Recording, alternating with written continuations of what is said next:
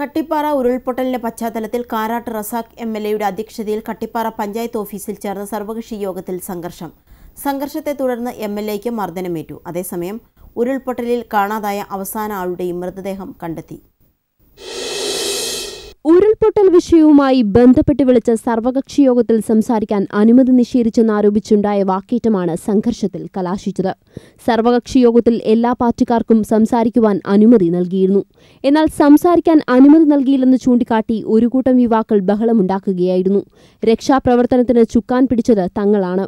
എന്നാൽ സർവകക്ഷി യോഗത്തിൽ തങ്ങളെ അവഗണിക്കുകയായിരുന്നുവെന്നാണ് യുവാക്കളുടെ ആരോപണം.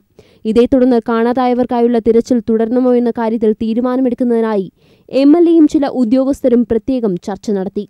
ഇതും യുവാക്കളെ പ്രകോപിപ്പിച്ചു. പിന്നീട് യോഗം ചേർന്ന് മടങ്ങിയെത്തിയ എം എൽ എയെ തടഞ്ഞുവെച്ചു. സംഘർഷത്തിൽ കാരാട്ട് റസാഖ് എം എൽ എക്ക് പരിക്കേറ്റു.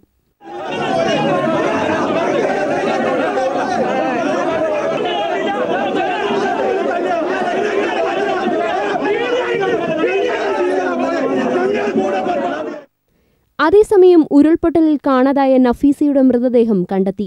ഇതോടെ കാണാതായ എല്ലാവരുടെയും മൃതദേഹവും കണ്ടെത്തി. പതിനാല് പേരാണ് ഉരുൾപൊട്ടലിൽ മരിച്ചത്. ലാൻഡ് സ്കാനറിന്റെ സഹായത്തോടെയാണ് മൃതദേഹങ്ങൾ കണ്ടെത്തിയത്. ഇതോടെ ദുരന്ത പ്രദേശത്തെ തിരച്ചിൽ അവസാനിപ്പിച്ചു. News desk Jeevan.